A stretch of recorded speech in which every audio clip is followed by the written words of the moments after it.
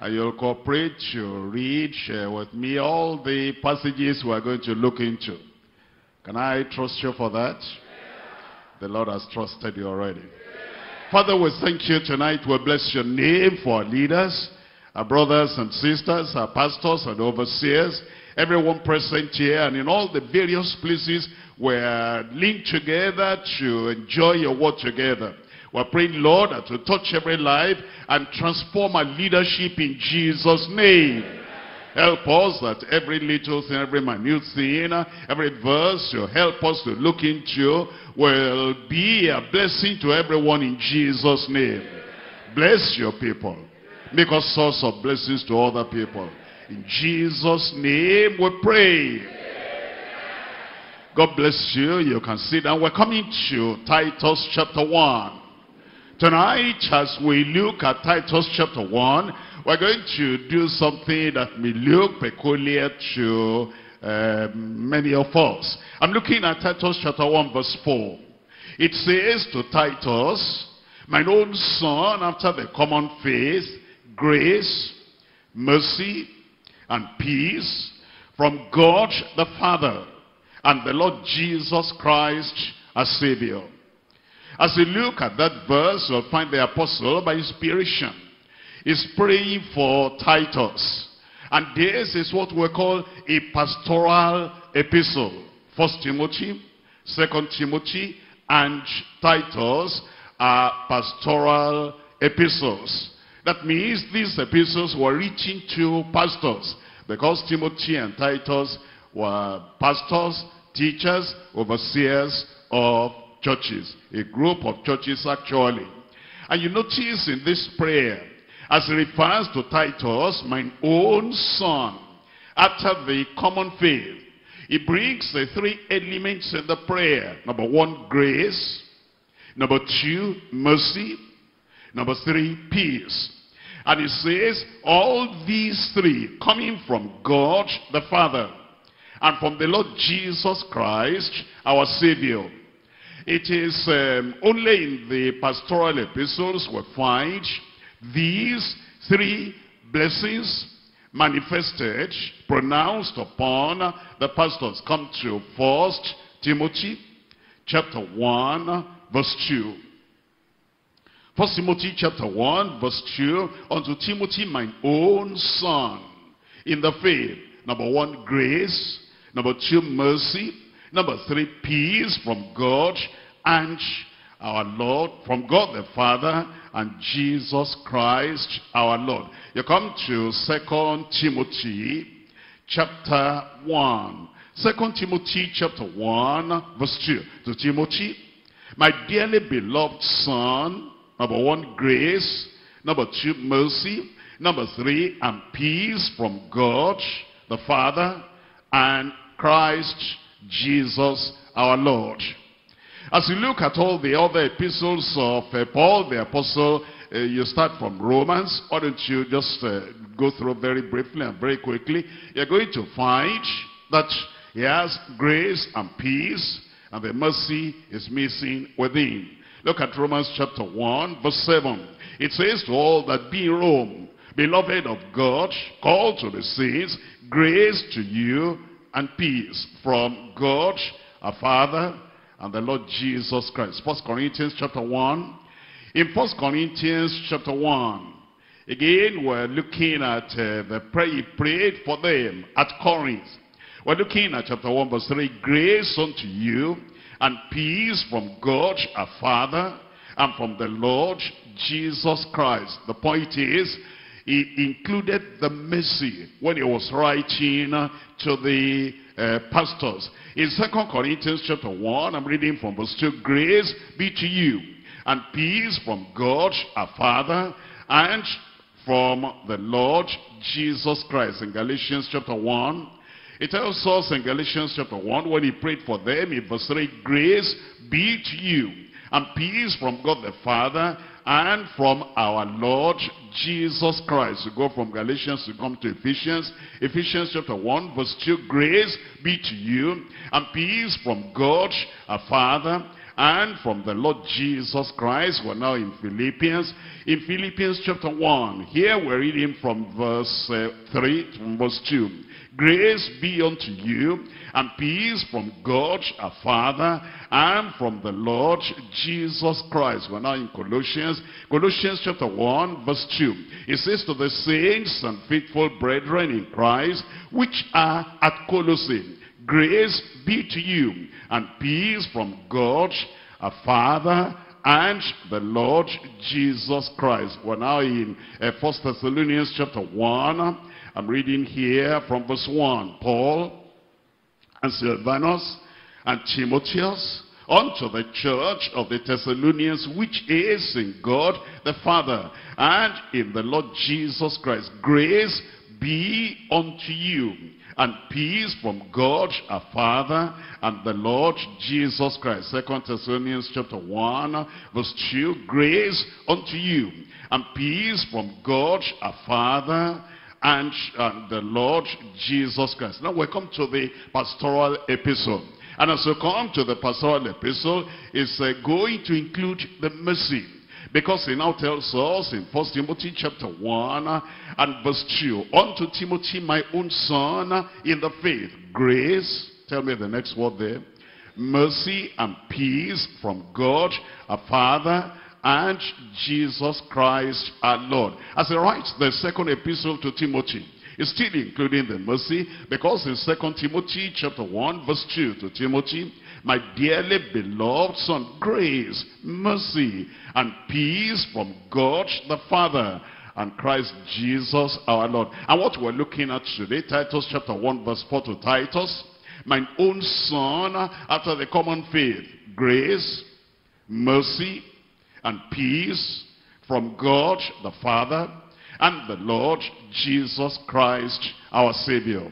As you read all this, well, why don't you complete the, the epistles of Paul, Philemon, Philemon chapter 1, verse 3. Grace to you and peace from God, our Father, and the Lord Jesus Christ. As we come to Hebrews, there's no uh, greeting there. There is that uh, prayer that he prayed at the beginning was not, it's not there.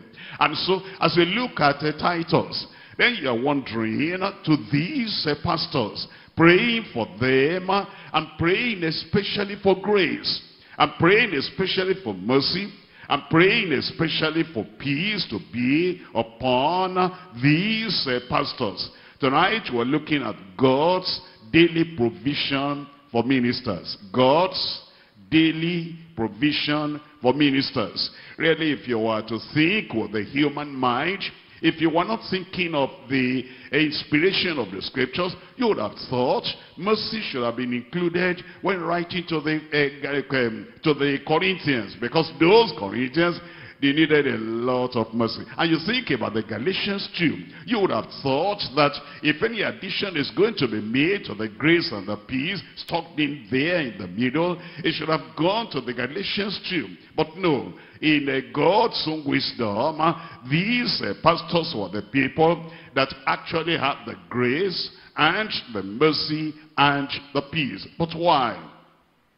The responsibility and the duties the challenges and the pressures of ministry, the care and the concern for souls, the battle and the fight against error and against falsehood. When you think about the weight of ministry in the church and the weight of mission to the world, they were so demanding that uh, we had to raise a voice with Paul the apostle saying, and who is sufficient for these things. Think about Timothy, who is sufficient for these things, and think about Titus, who is sufficient for these things, and the answer comes from uh, Paul the apostle himself, by the Spirit our sufficiency is of God. You are not sufficient for the task ahead of you, but your sufficiency is of God. And God will equip you. And God will empower you. And God will give you all the grace you need, all the mercy you need, and all the peace you need in the mighty name of Jesus. There are three things we're looking at. Number one, the sufficiency of God's grace in ministry. The sufficiency of God's grace in ministry. Number two, the sustenance of God's mercy through the mediator. The sustenance of God's mercy through the mediator. Point number three, the sanctuary of God's peace in the mind. Your mind becomes a sanctuary where the peace of God is reigning and where the peace of God is ruling. The sanctuary of God's peace in the mind. We're coming to number one. As you come to number one, we're looking at Titus chapter 1, verse 4. It says to Titus, my own son, after the common faith, grace from God, the Father, and the Lord Jesus Christ, our Savior. I know that uh, many of us, uh, everybody knows about grace. But you know, when we talk about grace, we talk about grace for the sinner. God will forgive you. And that's true. The grace of God is so wide, is so deep, is so broad, is so high, that whoever you are, wherever you are coming from, the grace of God will have mercy on you. And then you'll be forgiven. That's true. And then when we come to the Christian life, you're a Christian now, you are born again, you are a child of God. All the challenges of temptation, all the trials you may have, the grace of God is sufficient. It will carry you through. That is true. But you understand, this that we're reading here, this is grace for the minister. Many people do not realize that it's not just grace for the sinner to bring you into the kingdom and grace for the sage to make you righteous and holy. This is grace for the servant of God. This is grace for the minister. And you're wondering, you know, this supply of grace and this supply of favor, you're wondering about this benefit and this strength, this endowment referred to here for the minister. What was it for? Look at this. It was number one, grace to be able to set things in order. That's a challenge. You're a minister, you're a pastor, and you are called to set things in order. That means things are disorderly.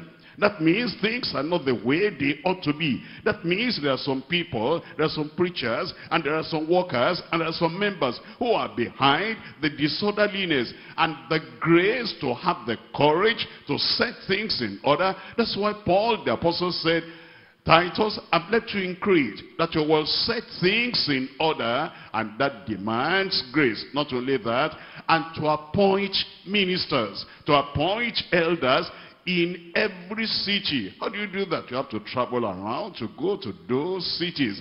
And you have to look at the church, to look at uh, those people. And then you have to choose one. There might be a Caleb as well as a Joshua. And then you are going to pick only one, Joshua. And you are going to leave the Caleb. And you're not going to, you're just appointing one leader, one pastor in a church. And then there's some people on the side of Caleb. There's some other people on the side of Joshua. And they say, what has Titus come here to do? How could he pick just Joshua? How about Caleb? Look at the utterance of Caleb. Look at the consecration of Caleb.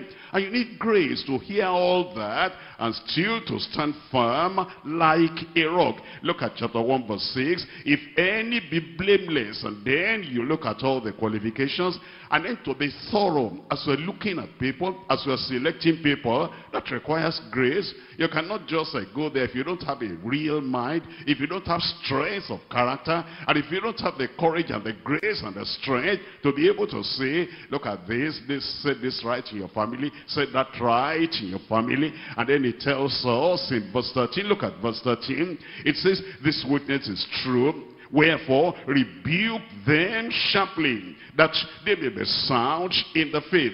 You come to, he was not there before. It was like a new overseer. It was like a new leader coming there. I've just appointed you, Titus, and I placed you there. A lot of things are wrong over there, Titus, and therefore you're going to set things in order, and you're going to find some people who are kind of on the wrong side of the cross, on the wrong side of Calvary, you rebuke them sharply. No wonder he needed grace. If you're going to do all that in the church, that the Lord has sent you to, for you to have the backbone, for you to have the mind and the courage, you need that grace. Not only that, if you look at verse 14, it says, not giving heed to Jewish fables and commandments of men that turn from the truth. There were people in, uh, in Crete, not only in one local church, in all the churches in that province of Crete, that the commandments of men, the traditions of men, the superstition, the syncretism, that's what they were after.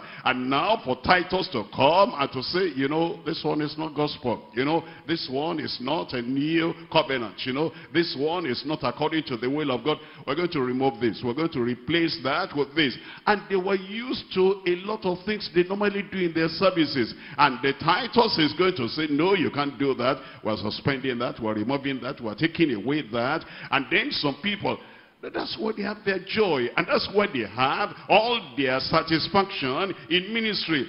Now, if you remove this, what do I do? If you remove that, what do I do? If you remove that, what do I do? And then Titus needed the grace of God to be able to start to say, no, all those are commandments of men, uh, and we're not going to continue. Look at chapter 2, verse 1. It says in chapter 2, verse 1, but speak thou the things which become sound doctrine in the midst of uh, people say whatever they wanted to say, preaching without preparation and just being haphazard, and for Titus now to come and lay line upon line and precept upon precept, it needs the grace of God. That's why Paul the apostle said, Titus, grace unto you from God the Father and from Jesus Christ our Savior. Look at uh, chapter 2 verse 7. It says in all things, this demands grace, in all things showing thyself a pattern of good works, in doctrine showing uncorruptness, gravity, sincerity, sound speech,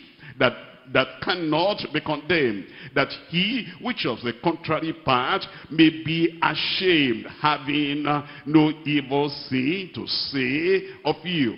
That takes the grace of God. That, that one you cannot do in a natural strength natural human effort. This takes the very grace of God that in all things, what does that mean, all things? In your ability to, in your every area of your life, you are a pattern of good works, a pattern of sound doctrine unto the people he needed grace, and we need grace for you to carry out everything the Lord has called you to that needs grace. Look at verse 9. Exhort the servants to be obedient unto their own masters. I'm sure you know that needs grace because it's not natural for servants to want to obey. There's the culture of disobedience and the culture of rebellion in the workplace. There is a culture of, you know, self-will. I'm going to have my way. And here Titus is going to go to all those churches in Crete. He was a new overseer. He was a new person in their midst and was to come and tell them, you know, this culture of rebellion in the workplace, we're going to cancel it. This culture of uh, working to rule and uh, not working when the master is not there, this culture of eye service, we're going to stamp it out. And it takes the grace of God. That's why Paul the apostle, before he wrote all this to him to say, Titus, I left you there in Crete to set in order the things that I want in there. You're going to do this and this and this. He says, uh, before I go on, grace unto you. And before we go on tonight, grace unto you. More grace in your life that God will help you to do and to be everything he has called you to be, everything he has called you to do in Jesus' name. Look at verse 11. For the grace of God that bringeth salvation has appeared unto all men, teaching us that denying ungodliness and worldly laws, we should live soberly, righteously, godly in this present world there were peculiarities in Crete as to, you know, what constituted sin and what constituted opposition to righteousness and godly living. It's like in our day now, as we look at the area of internet, as we look at the area of IT, as we look at the area of a profession, as we look at the area of economy, as we look at the area of community, community living, you're going to see peculiar things there that God is challenging. You're going to pinpoint them and you're going to say, no, this is sin, God has called us to live godly lives and righteous life in this present world. In verse 14, who gave himself for us that he might redeem us from all iniquity and purify unto himself a peculiar people. Tell me the rest there. Zealous of good works. What do you do, Titus? Because as you go to that church, the people, they're sold on their business. And they want to, you know, carry on this. They're sold on success. They're sold on extramoral education. They're sold on this and that. And then for the work of God, there's no zeal. They're lethargic. They're lukewarm. And now, Titus, you cannot just say, why was I sent to a place like this? Look at these people. They're not interested in the coming of the Lord. They're not interested in, uh, you know, being zealous for the Lord. It's only they go after they get to go, they go to their farm, they go to their industry, they go everywhere. Titus, that's why you are there. And it needs grace for you to bring all those people back and make them zealous of good works. Looking at chapter 3 verse 1. Put them in remembrance, put them in mind to be subject unto principalities and powers and to obey majesty and to be ready for every good work. That's exactly what they were not ready for. All those people, they were against constituted authority. That is, they were against good governance. They were against, uh, you know, somebody staying there as their emperor, somebody staying there as president, somebody staying there as king, and then following constitution and telling us, pay your tax and do this and do this. The people were against that. And Titus now was to come and was to tell the people, we must be law abiding. We must obey the magistrates. We must obey the leadership in the family, leadership in the school, and leadership in the community. This takes the grace of God. That's why, as Paul the apostle wrote to him, he said, you know what you're going to do? Here are the responsibilities. Here are the great duties you are going to perform. It needs grace, and I pray for you, grace unto you from God the Father and from the Lord Jesus Christ. Look at uh, chapter 2, verse 15. It says, These things speak and exhort and rebuke with what?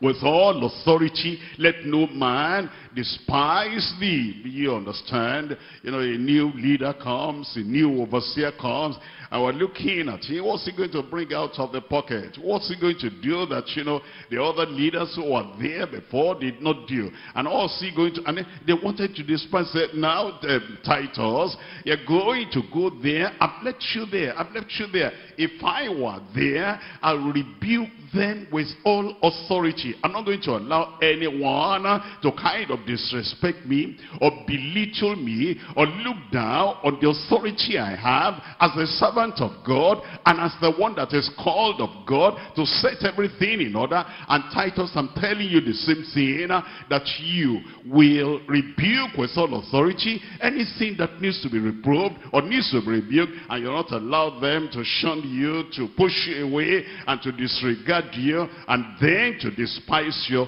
authority.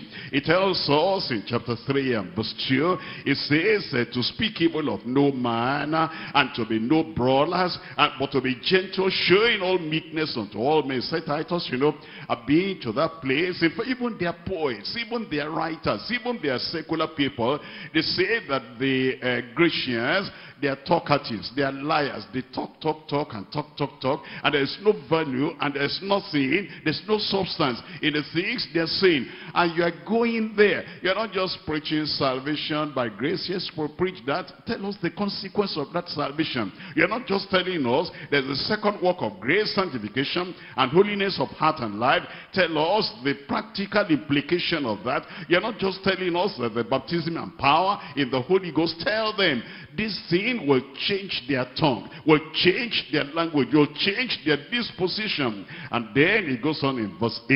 It says in verse 8, This is a faithful saying, and what and these uh, things I will that thou affirm constantly affirm constantly. You know, there are some people, if you affirm something now, then they, they come the next time and they say, we hope he's not going to say that again. And then Titus, that's exactly what you're going to say again. Affirm constantly. They come again until they get it, until they understand it, until it gets to their heart and their lives are totally influenced and informed and totally transformed. Affirm constantly. What's he affirming constantly? Affirm that they which have believed in God might be careful to maintain good works. There's some people, we call them antinomians. They're anti-law. Antinomian means that they're against the law of God. They're against the righteousness. And they say, we're saved by grace. Good works are nothing.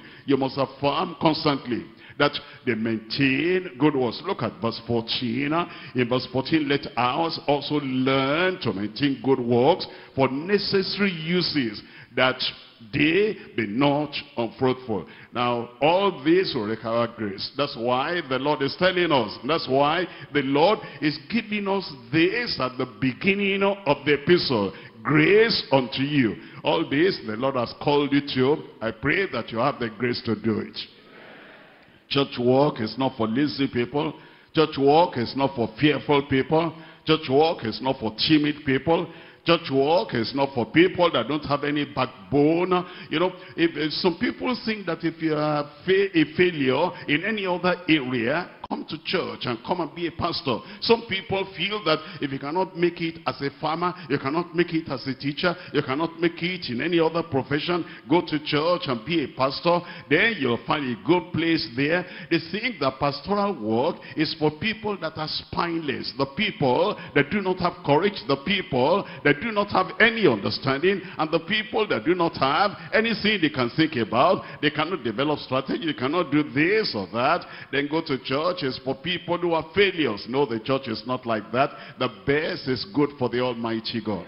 I said the best is good for the Almighty God. And if you have a you know, good brain, you're a good candidate for the work of God. Good mind, you're a good candidate for the work of God. And you have a good backbone, courage, and stamina. And you're going to stand for the truth. And you're going to call sinners to come to know the Lord. You're a good candidate. Welcome. And you will succeed in Jesus' name.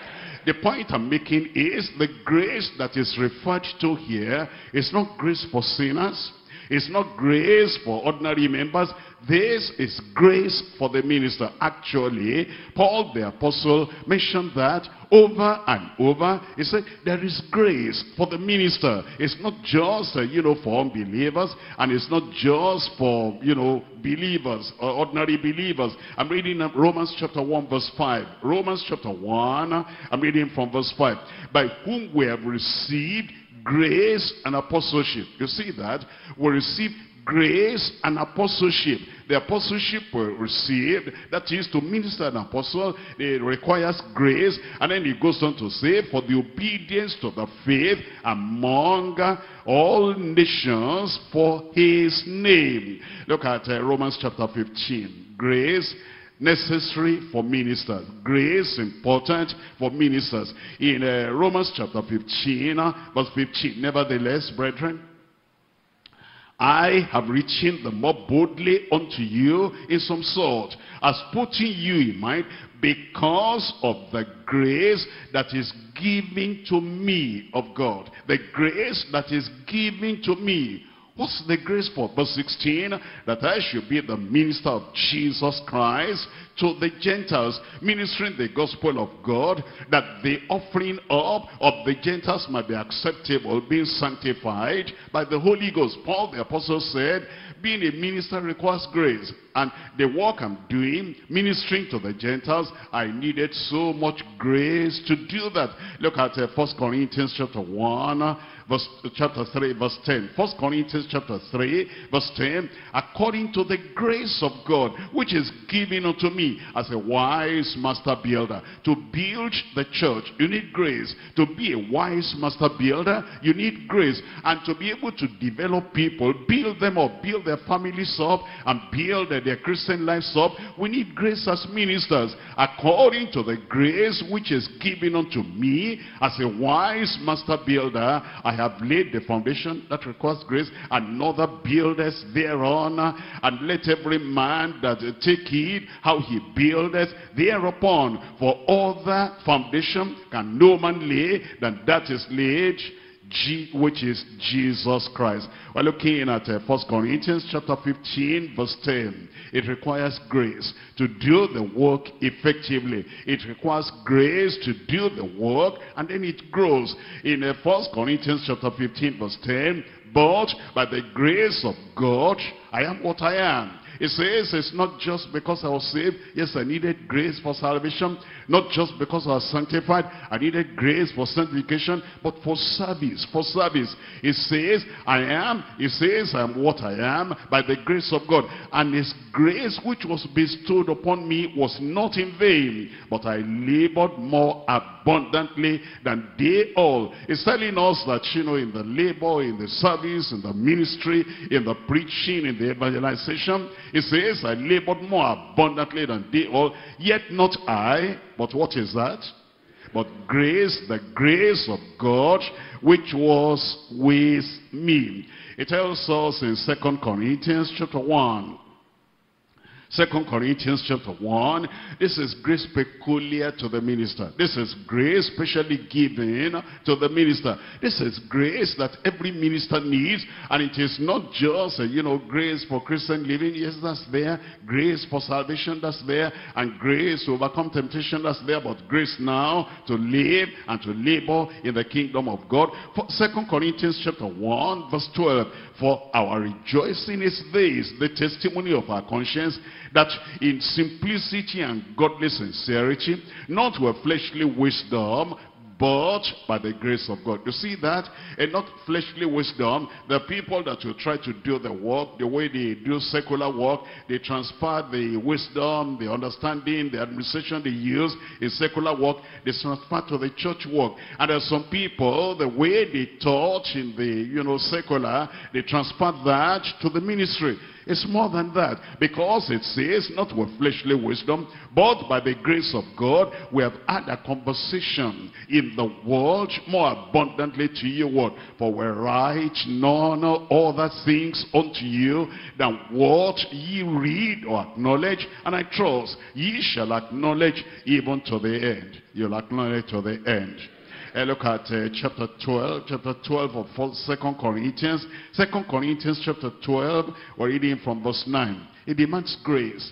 There are challenges that will demand grace. There are pressures that will demand grace. There are things that will come that will demand grace. And there are difficulties in ministry, crossroads in ministry, conflicts in ministry, and the pressures that come that will demand the grace of God. Look at chapter 12 verse 9. He said, And he said unto me, My grace is sufficient for thee, for my strength is made perfect in weakness. There are times you wonder, do I have strength to carry through this? Do I have strength to do this? And then God is saying, remember the need of grace. Remember the place of grace. Remember the strength that comes to you through grace. And he says, my grace is sufficient for thee. For my strength is made perfect in weakness. Most gladly, therefore, will I rather glory in my infirmities, that the power of Christ may rest upon me. That's what grace does for the minister. The power of God will rest upon you the power of God will saturate you. And the power of God will hold you up. And then you'll stand on solid ground. And whatever wind may be blowing. And whatever conflicts may arise. You are able to stand. And you are going to stand. You understand now as a minister, you go to God, you are saved already, you are, you are sanctified already, you are baptized in the Holy Ghost already, but now you have challenges ahead of you, and you have pressures upon you, and you have things that might uh, kind of make you weak, that you cannot do what you ought to do. You go to God in prayer, you're asking for strength, you're asking for grace, and as you ask, the Lord will strengthen you. And then the things that uh, made you to want to say, maybe I'll pack it up. Maybe I'll pack my law. Maybe I cannot be in Crete. Maybe I cannot be in charge of all these churches. To be an overseer in this province, what a challenge this is. As the grace of God comes to you, you will rise up again. You do the work and you do it with all your heart and all your strength and everything that tried to maybe weaken you before, you'll be stronger than them in Jesus' name. Look at verse 10. Therefore, I take pleasure. It says, now, I'm not complaining. You'll not complain anymore.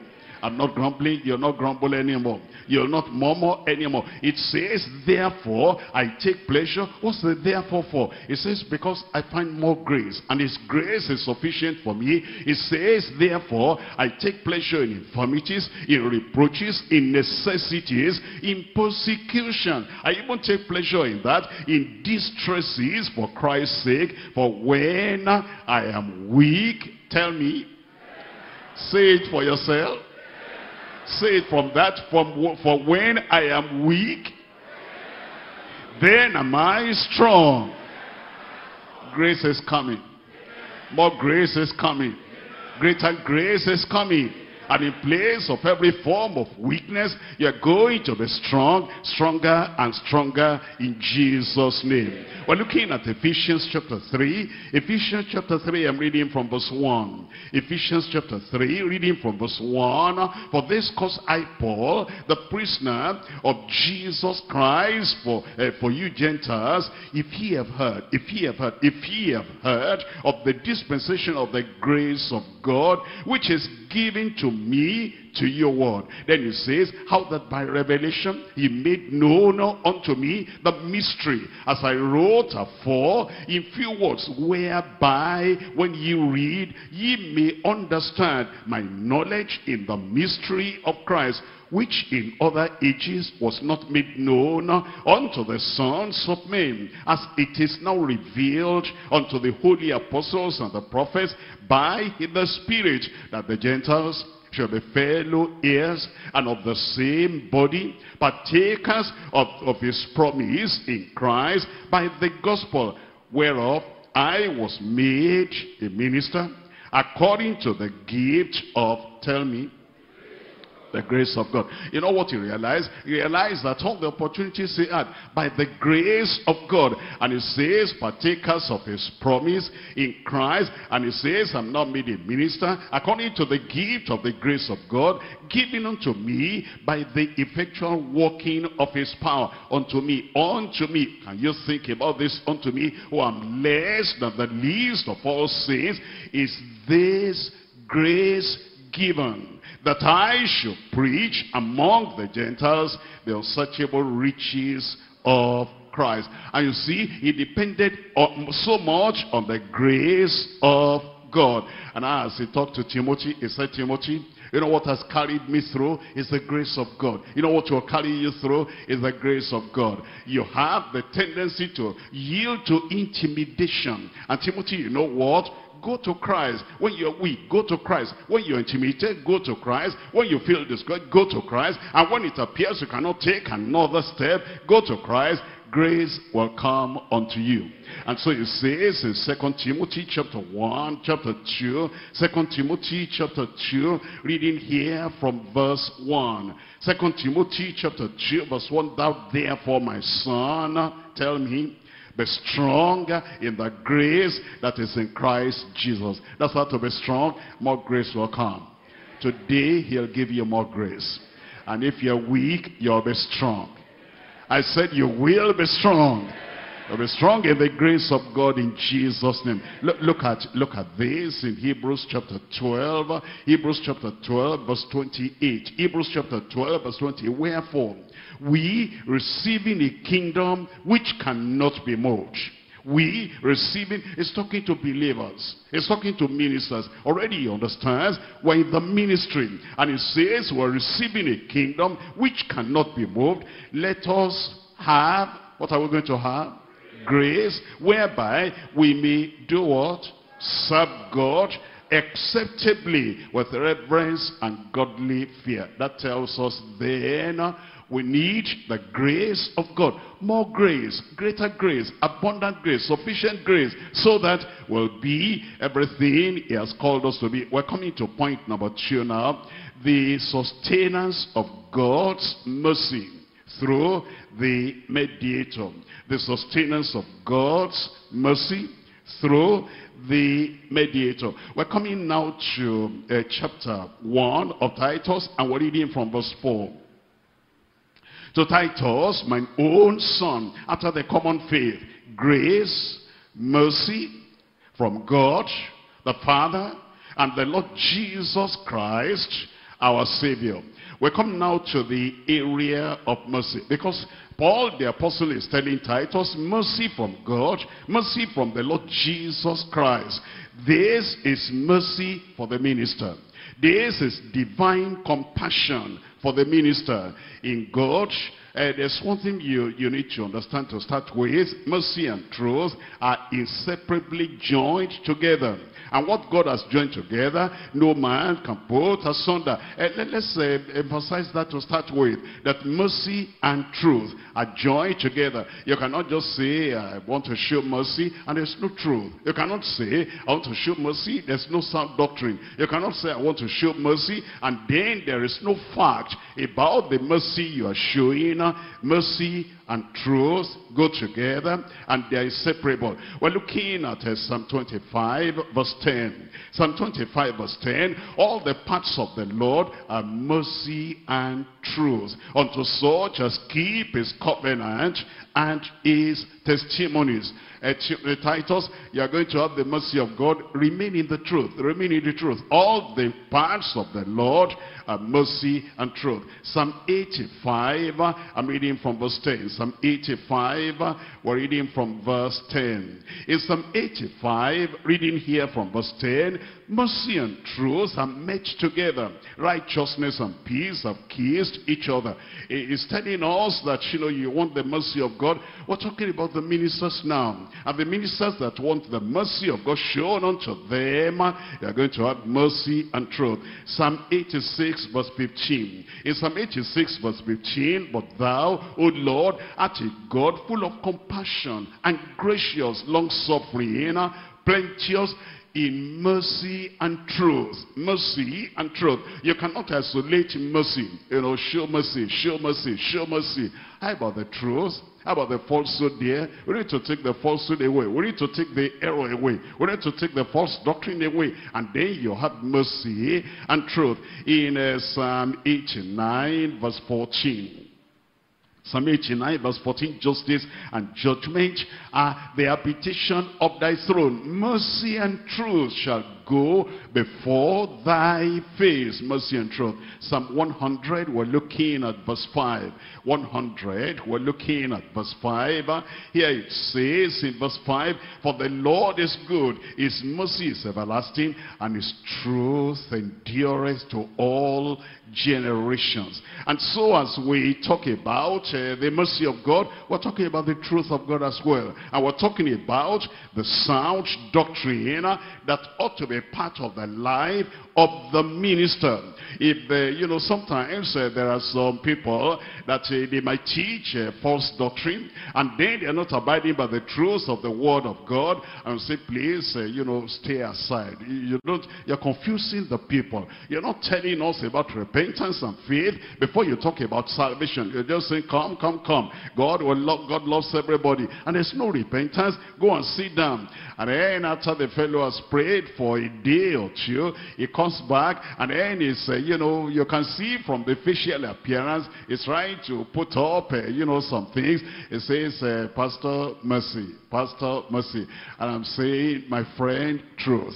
He's saying mercy. I say truth. Let's join everything together. Let mercy come halfway and let truth come this way and let them meet at the middle. And when truth and mercy have met together, then we can move forward. There must be truth. I said there must be truth. We cannot have sentimental mercy without the truth of God in uh, the life of the minister. All men need God's mercy. But ministers like Timothy, ministers like Titus, need the mercy of God through the Lord Jesus Christ. Now, as we talk about the mercy, what does the mercy do? And what does the mercy bring in our lives as ministers? We're coming now to Luke chapter 1. And you will see what the truth, uh, what's been revealed about the mercy that we're expecting. It tells us in uh, Luke chapter 1, verse 72. Mercy, what does it bring? What does it do? What does it accomplish? And what does it uh, flow? How does it flow into your life? In Luke chapter 1, verse 72, to perform the mercy, look at that, to perform the mercy promised to our fathers, to remember his holy covenant, the oath which is sware to our father Abraham, that he would grant unto us that we being delivered out of the hand of our enemies might serve him, how? Without fear. Verse 75, in holiness and righteousness before him all the days of our life. What the mercy of God does in our lives, it brings that holiness and it brings that righteousness into our lives. What we couldn't do by ourselves before, the mercy of God brings that righteousness and that holiness. Now number two, look at verse 78. Through the tender mercy of our God tender mercy of our God. What does that mercy do? Whereby the day spring from on high has visited us. Look at verse 79. It says, to give light to them that sit in darkness. That's what the mercy of God does. Light to them that are in darkness and in the shadow of death and to guide our feet into the way of peace. You see, Titus, you need guidance. The mercy of God will do that. Titus, you need the light in the midst of the, uh, the Christian uh, darkness. You need light, and the mercy of God will do that. We're coming to Romans chapter 9. Romans chapter 9, uh, and we're reading from verse 23. The mercy of God, what that mercy does.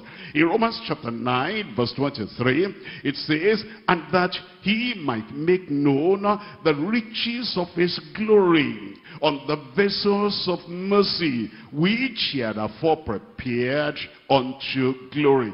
It says in the mercy of God that will reveal to you the depths and the height and the length and the breadth of the riches of the glory of God. So that you're going from one depth to another depth to another depth. Is giving you revelations you couldn't have by yourself. And Titus, you need that in Crete because as you're setting things in order, the Lord will show you this and show you this. And as you're appointing people, the Lord will show you this and show you this. And it is the mercy of God that does that. That's why he's praying for Titus grace and mercy from God the Father and the Lord Jesus Christ. We're coming to Romans chapter 15 verse 9. Romans chapter 15 uh, verse 9. What the mercy of God does in the life of the minister and that the Gentiles might glorify God for his mercy the Gentiles might glorify God for his mercy as it is written for this cause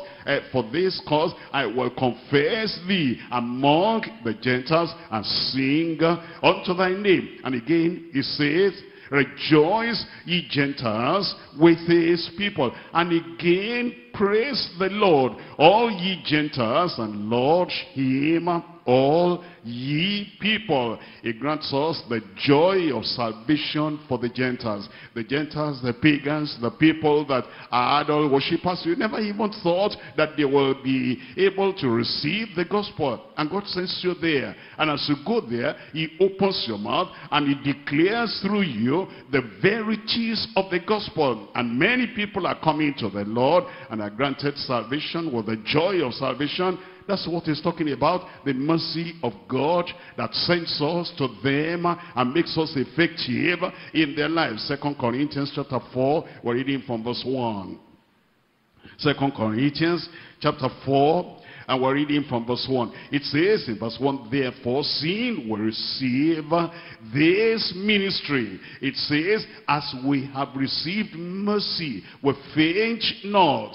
Strength instead of fainting courage instead of crumbling, instead of being crushed under the weight of persecution, under the weight of difficulty, under the weight of every conflict, but it gives you strength. Instead of fainting, you know, you're moving on when you should have, you know, been, you know, relaxing and going back home saying, it's too much, I cannot bear it anymore. It is the mercy of God that keeps you on and gives you the strength. Look at verse 16, uh, for which cause we faint not because of this mercy that came to us and and it says, though our outward man perish, yet the inward man is renewed day by day for our light affliction, which is but for a moment, worketh, for us a far more exceeding and eternal wage of glory. It is the mercy of God that makes you to have the right interpretation. All the persecution, all the pressure, and then to say this light affliction. In fact, it's the mercy of God that makes you have verse 18.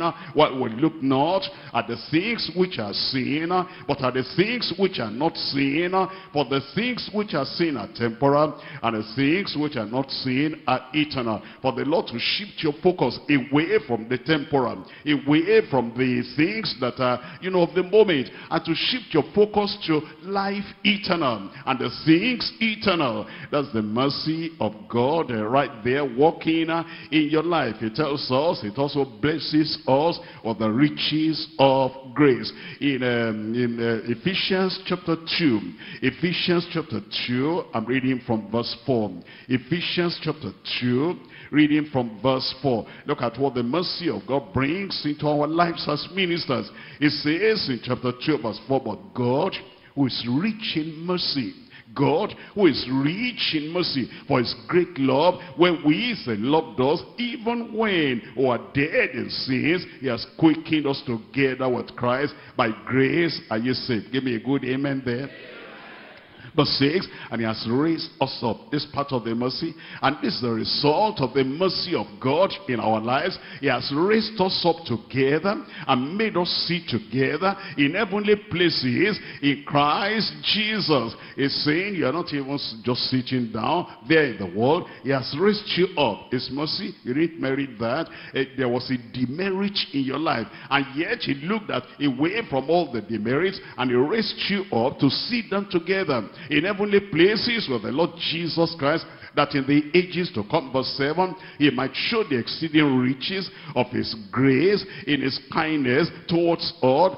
through Jesus Christ in the mercy of God. And I pray that that mercy will come more and more in your life in Jesus' name. Look at another aspect now of the mercy of God in Philippians chapter 2 verse 27. Philippians chapter 2 we're looking at verse 27. It says, For indeed he was sick, nice unto death, but God had mercy on him. This is mercy. This is mercy. Uh, Paul the apostle was talking of another minister and he says uh, this uh, minister became sick. He was so sick unto death. But God had mercy on him and not on him only but on me also lest I should have sorrow upon sorrow when somebody has been sick, a fellow minister, and then we're very concerned, we need him, we need her. At this time, this is not the time for her to go home to glory, or for him to go home to glory. And we pray, and we pray. And then the Lord answers our prayer like he's going to answer our prayers for you.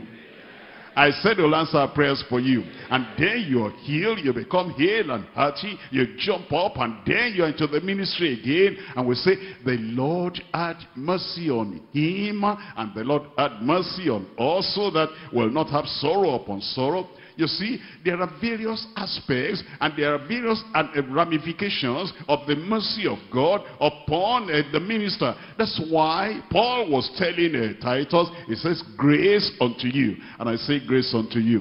And he said, mercy unto you. And I'm saying mercy unto you. Look at, look at verse 20, 28. And I, I sent him therefore the more carefully eh, that when you see him again he may rejoice that I may have I may be less sorrowful receive him therefore it's just got well now and he's coming back into the ministry. Receive him therefore in the Lord with all gladness and hold such in reputation because for the work of Christ he was nice unto death not regarding his life to supply your lack of service towards me. And then not only that, uh, let, us look at uh, what God does. We're looking at Second uh, Timothy, Second Timothy chapter 1 and verse 18. Second Timothy chapter 1. I'm reading here from verse 18. In verse 18 it says, the Lord grant him uh, that he may find mercy of the Lord, the mercy of the Lord in that day. And in how many things he ministered unto me at Ephesus,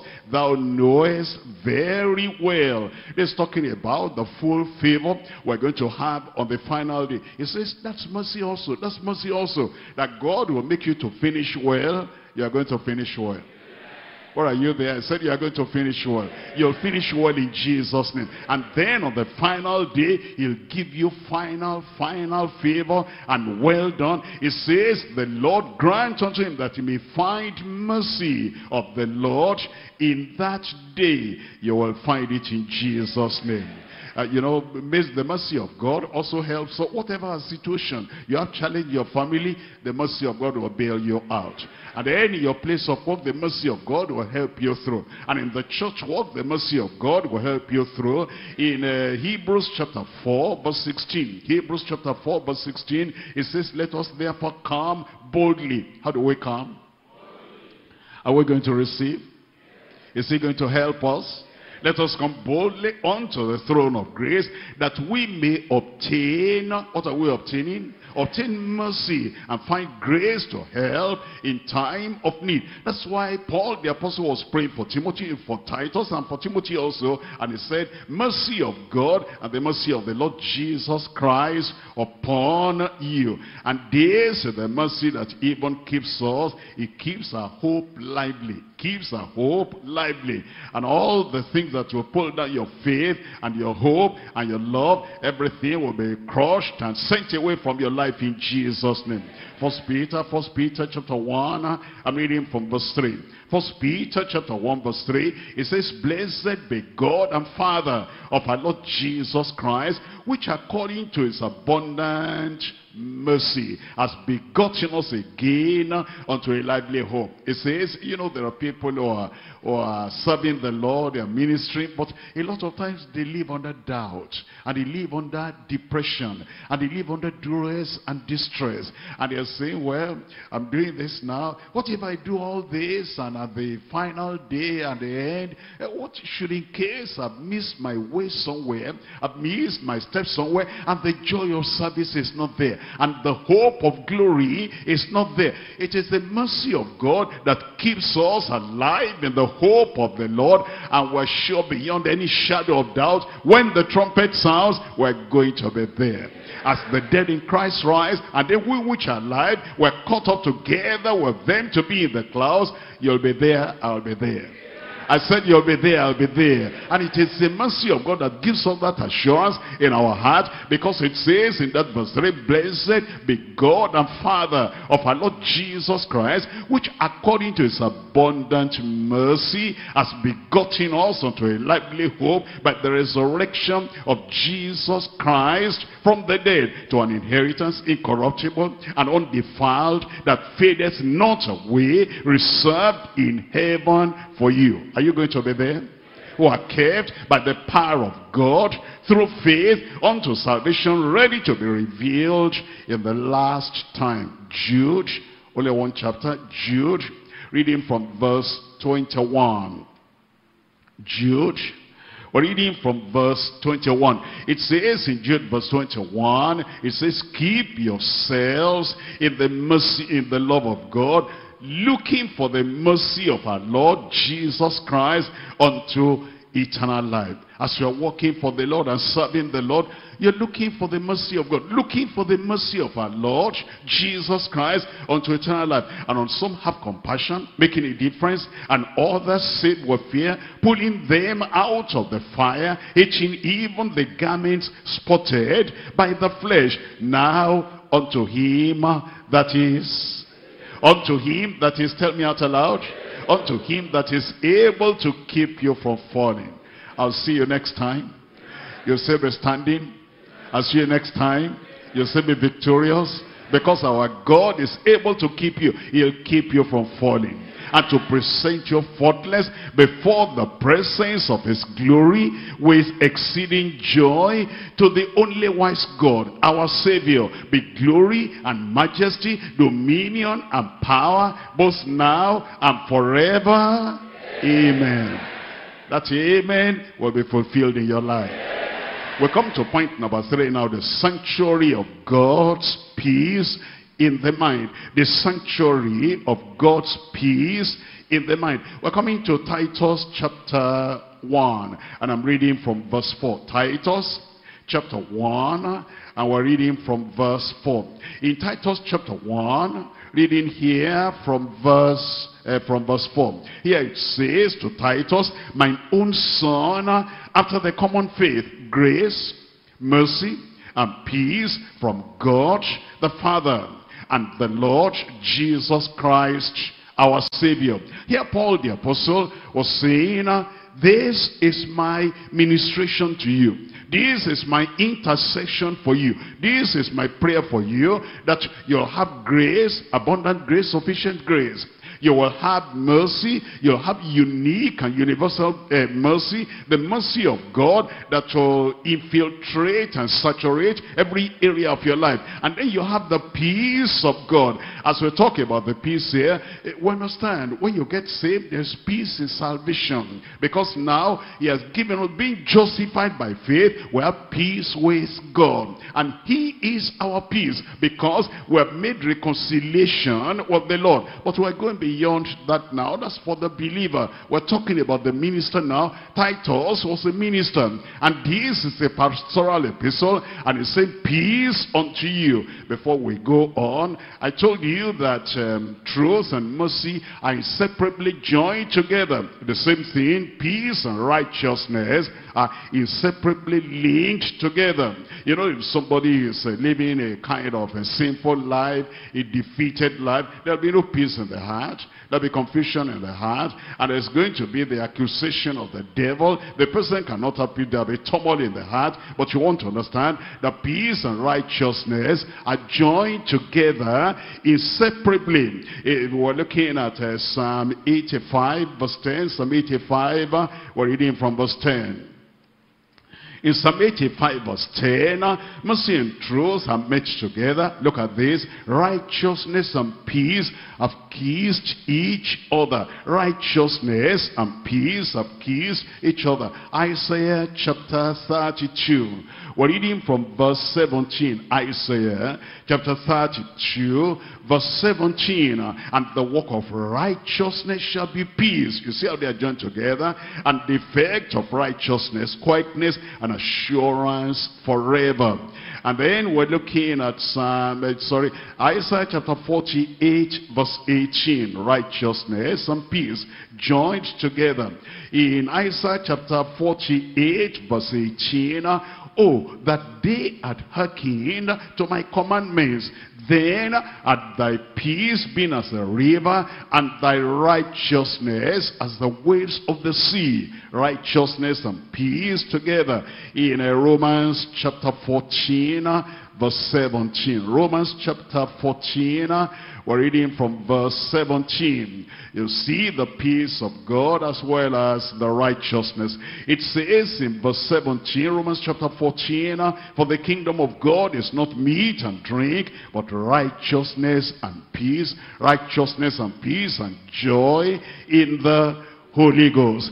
In uh, Hebrews uh, chapter 12 verse 11. Hebrews chapter 12 we're reading from verse 11, righteousness and peace. In Hebrews chapter 12, reading from verse 11, hear what it says. Now, not just sinning for the present seemeth to be joyous, but grievous nevertheless. Afterward, it yielded, it yielded the peaceable fruit of righteousness unto them which are exercised thereby. Now we come to this uh, that uh, Paul the apostle prayed for the uh, minister. That he prayed for Titus as he wrote to Titus and showed the ministration as well as the prayer, the intercession to Titus. My own son, after the common faith, grace, mercy, and peace from God the Father and the Lord Jesus Christ, our Savior. This peace we're talking about is for the minister, peculiarly for the minister. And it is uh, such a peace that in the challenges of ministry, there is a person who was a minister of God We have the peace of God. This is not the peace that an indolent person can claim. Somebody sitting down in the house, somebody lying down on the bed. This is for the challenging, dynamic, ongoing ministry. And because it's a ministry, it's going to meet quite a lot of things. And such a minister needs, he needs, uh, you know, the peace of God so that he can remain calm, cool and composed amidst the Grecian conflicting lies and opposition of subversive people. There were so many in the Grecian community and when he made appointments and some people would not understand the appointment, he needed the peace of God. In times of a new challenges on the new field, we need that mercy of God and we need that uh, peace of God and we need the grace of God. What does that uh, peace do? In Isaiah chapter 26, Isaiah chapter 26, reading from verse 3. In Isaiah chapter 26, verse 3, it says, Thou wilt keep him in perfect peace. He'll keep you in perfect peace. Whose mind is staged on thee. Because he trusted in thee. If you're a minister, many things will happen. You'll hear some, you know, people gossiping about you. You'll hear of some people saying that all your good intentions and all your good work, well, you are doing it for that reason, you are doing it for that reason. They might misunderstand your action and misunderstand the good things you're doing. If you're not having the peace of God, you'll be ruffled. You'll be confused. You'll be unhappy. You'll take some other decision. Okay, if that is the way they think, and they think I'm doing it for this reason, I'll not do it anymore. You are not serving them, you're serving God. I said you are not serving them, you're serving God. And haven't you seen at the back of those lorries, uh, you know, going to the village, it says, let them say. Can you help me shout, let them say? Whatever they say, let them say. And then you have the peace of God in you because your mind is staged on God. I pray that that peace will never leave you in Jesus' name. We're looking at Psalm 37, Psalm 37, and we're looking at verse 37. You can't forget this one. 37, 37, 37, 37. In Psalm 37, we're looking at verse, what's the verse? 37, mark the perfect man. That's the safe, sanctified man. Mark the perfect man. That's the man that lost God with all his heart, all his soul, all his mind, and all his strength. Mark the perfect man. That's the man that wants to consecrate and give everything his God to the work of God. And he just follows the work of God. He's forgotten his own work. He's abandoned his own work. He's still doing it, but you know, he's, he's making that the second thing. He's making the work of God as number one. And the Lord looks looks at him and smiles from heaven and says, that's my son, that's my daughter. I pray you'll qualify for that. It says, mark, mark the perfect man and up and behold the upright. For the end of that man, tell me, is peace. The end of that man is peace. That's what Jesus said in, John chapter 14. John chapter 14. I'm reading here from verse 27. John chapter 14. We're reading from verse 27. Peace I leave with you. You go home with peace tonight. Greater peace in your heart.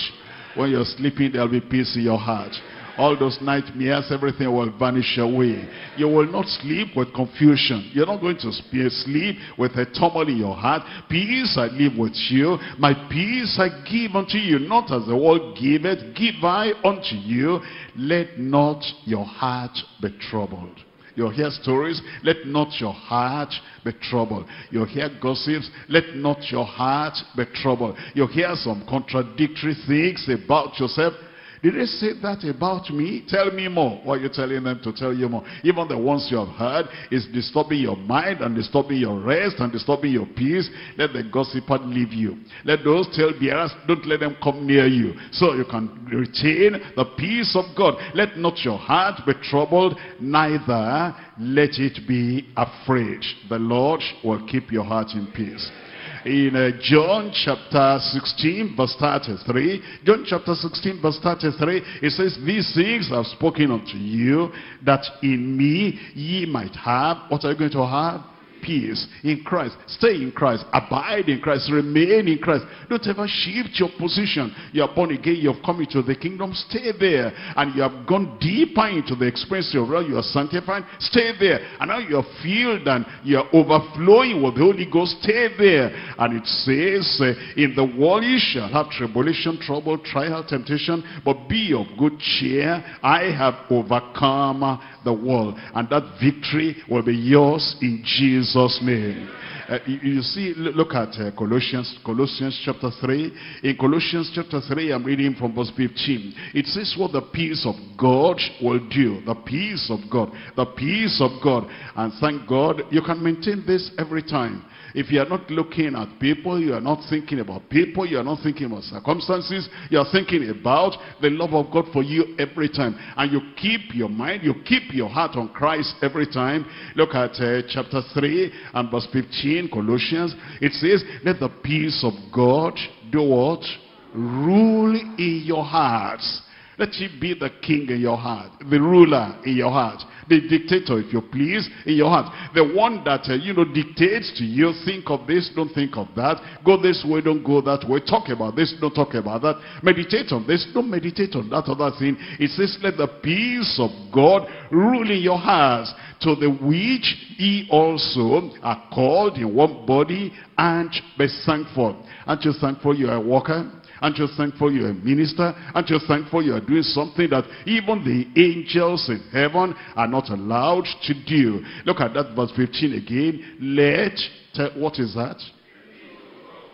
Tell me out aloud the peace of God. We're going to look at another aspect now, the God of peace. We've seen the peace of God. You know, if in your heart, in your mind, in your soul, in your spirit, the peace of God is resident there. And it's the one controlling, it's the one directing, it's the one uh, counseling, it's the one influencing you. And the peace of God is ruling in your heart. Turn it around. Let's see what the God of peace will do. This peace of God, Titus, I'm praying for you that the peace of God will come to you. And the God of peace will reign over your life in Jesus' name. Look at Romans chapter 16. God of peace, the God of peace, the God of peace. Romans chapter, uh, chapter what? chapter 16, what's the verse? Verse 20. Verse 20, look at this. And the God of peace shall put Satan under your feet shortly. In your house, the God of peace shall bruise Satan under your feet shortly an emergency arises over your wife, over your husband, an emergency arises over your child, an emergency arises anywhere you are because you're a minister and because the Lord is watching over you. It says the God of peace, leave it to him. God will deal with that Satan. He'll deal with that challenge. The God of peace shall bruise Satan under your feet shortly. The grace of our Lord Jesus Christ be with you all. Amen. Uh, we're coming to, we're coming to Philippians chapter 4, Philippians chapter 4, peace of God, God of peace. Peace of God and the God of peace. It says in uh, Philippians chapter 4, I'm reading from verse 7, it says, and the peace of God, this is the peace of God now, which passes all understanding. Everywhere is in commotion. It's like wave on the sea. It's like storm on the sea. But you are calm. But you are cool but you are composed. But you have the peace of God. Nothing bothers you. Give me a good amen. Because you know everything will be all right. I said everything will be all right. Because the peace of God which passes understanding shall keep your hearts and minds through Christ Jesus.